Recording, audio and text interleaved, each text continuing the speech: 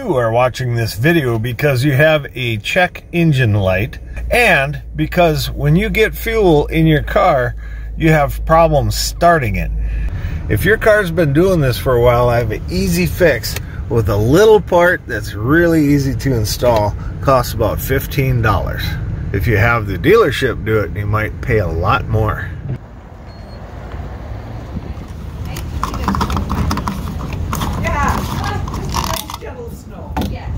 I just got fuel in the car. I'm going to try to start it.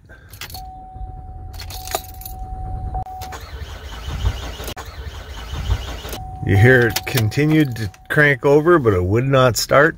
Sometimes it will start. You can also assist it by pushing the uh, gas pedal almost all the way down during the start. There, it starts right up the second time. It's done this every time now for the last four fuelings. So I'm pretty sure that the code that I got, and you don't need a code reader, but if you do have one, it helps identify the problem. I got a code P0459. And even if you don't have a code reader, that symptom is typical of the part that I'm going to give you a little lesson on. So this is a typical symptom of a solenoid valve that's easy for you to replace. I just ordered one on Amazon, and I'm not endorsing Amazon, but I ordered it online, or you can stop at a local uh, car dealership, or maybe even at a car parts store. Get the part, only costs $15, and it'll take only about 10 minutes to install. I'm going to pull into my new heated studio and show you how to replace this part. It's super simple, take you about 10 minutes at the most. So you reach down and pop your hood. You're gonna go up and look for the access for this part. It's right by your oil filler. If I can do this on a cold snowy day, you sure can do this anytime. The only tool it takes is something to turn a bolt, like a like a socket wrench or a pliers. This problem affects many different kinds of GM cars, so you can look up to see if uh, if this part is for your car. You want to maybe talk with your automotive repair shop too.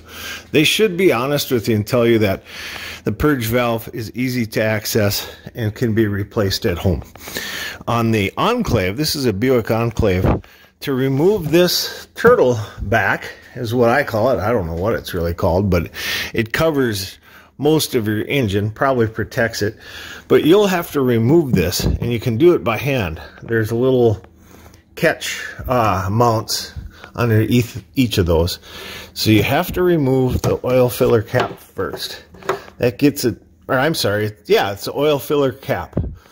Put it somewhere where you're going to remember where you put it. I put everything in the sink because whenever I'm done, I always wash my hands up. And uh, that's where I'm going to find a part that I maybe forgot. Watch that rubber ring. You don't want it falling anywhere. It, it should stay attached there.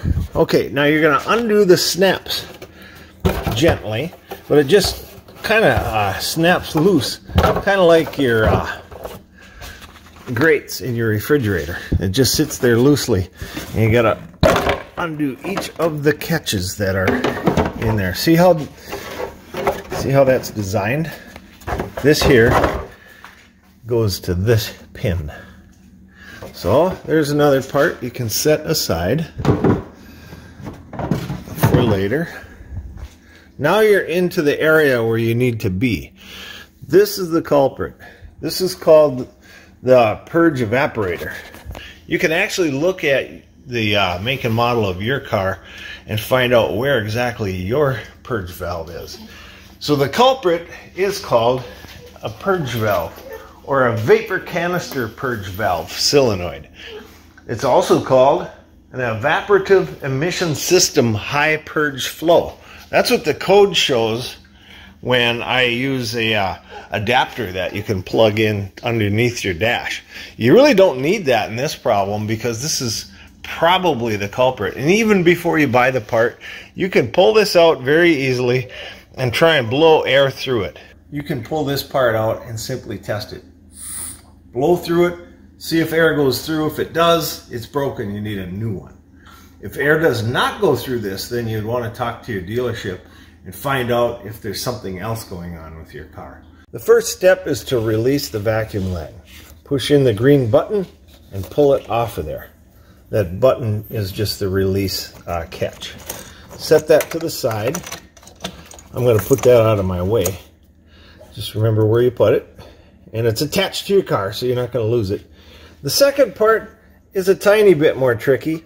You just got to get your fingernail or a screwdriver in there and release this. It's just a catch for the electrical. See how that is on there?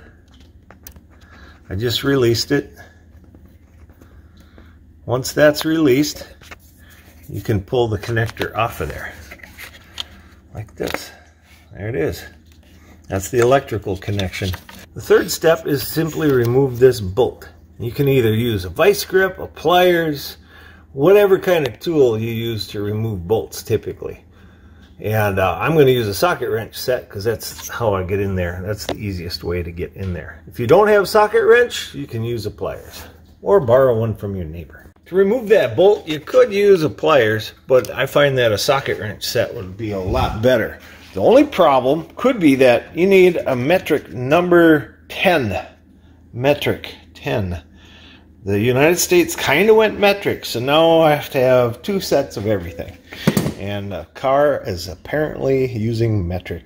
I found that this 1330 second socket set uh, is close as well. You can see by measuring it up, it's got a little play in there, but it's tight enough that it should do the trick for you. So whichever size you have will work for you. I chose to attach mine to the drill because it's easier access to get in there and back that uh, bolt out of there. All right, so basically getting the bolt loosened up is the hardest part.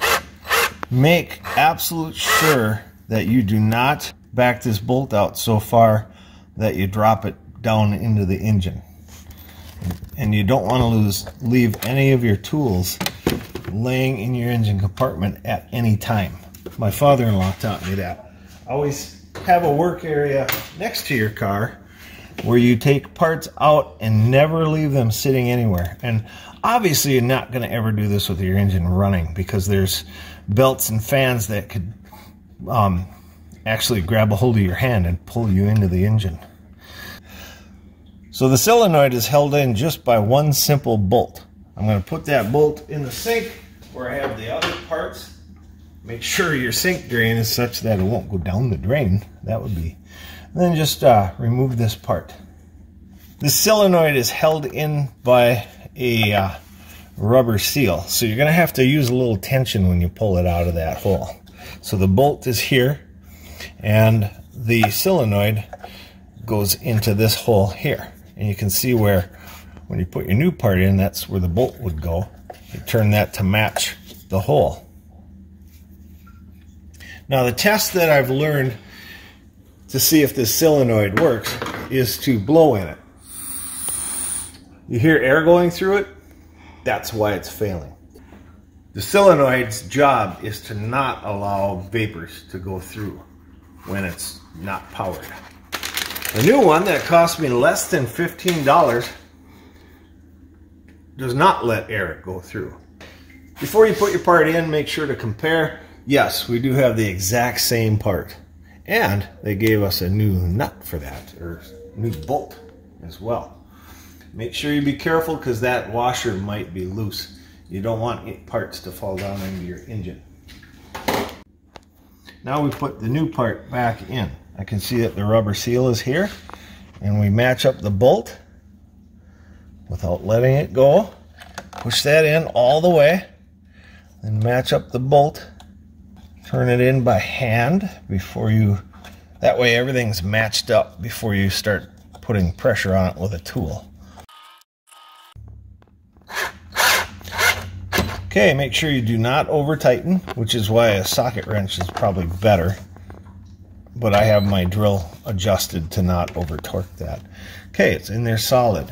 The next step is to connect up the two parts that I showed you earlier uh, to remove. The first one is the electrical connector.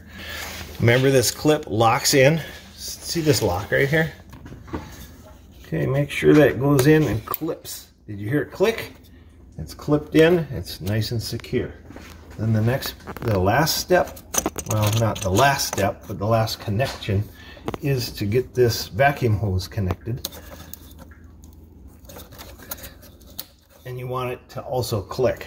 That way all of your parts are in there securely. Now scan your engine, make sure you did not leave any tools or bolts or any parts in your engine because once you start it, you could do damage. Now we're going to get the cover back on. Match up. On the Buick, I find that this is a little bit of a puzzle. The goal is to match up these three receiver holes to these three pins. One, two, three. There's the first one. Get it lined up. And then down here, get the back one in at least close. Then the hardest part is keeping the rubber seal around the oil filler cap. Because the lip of that in fact I'm just gonna get it out of the way for now. We'll, we'll do that last. Okay all three clips are in place. You just pop them back. One two three. Okay I'm gonna test them there's one that's tight. Okay all three are tight.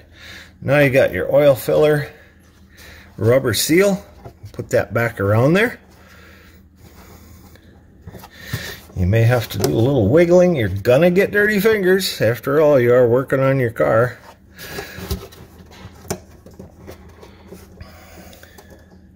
That just sits around the edge of that.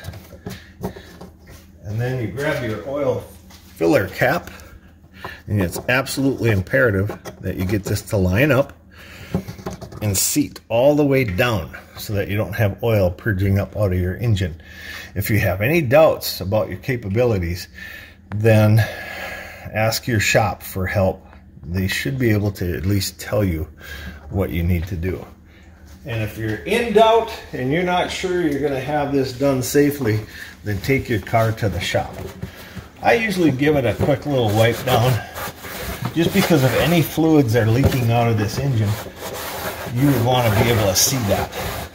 Now that you have your engine compartment all safely put back together and the cover is back on, the fuel cover or the oil filler cap is back on and you've cleared all of your tools out of here, then you can close your hood and try starting your car. We'll see how it sounds.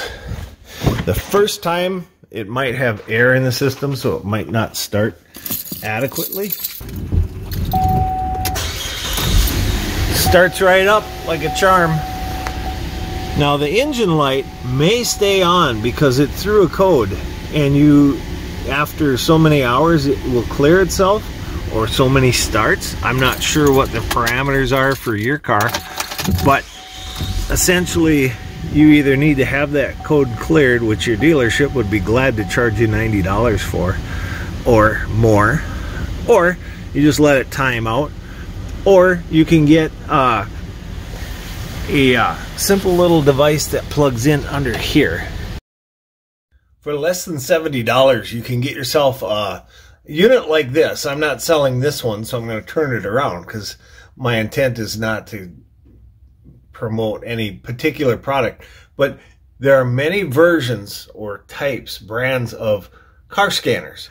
This reader will read the codes and tell you what the check engine light is trying to tell you.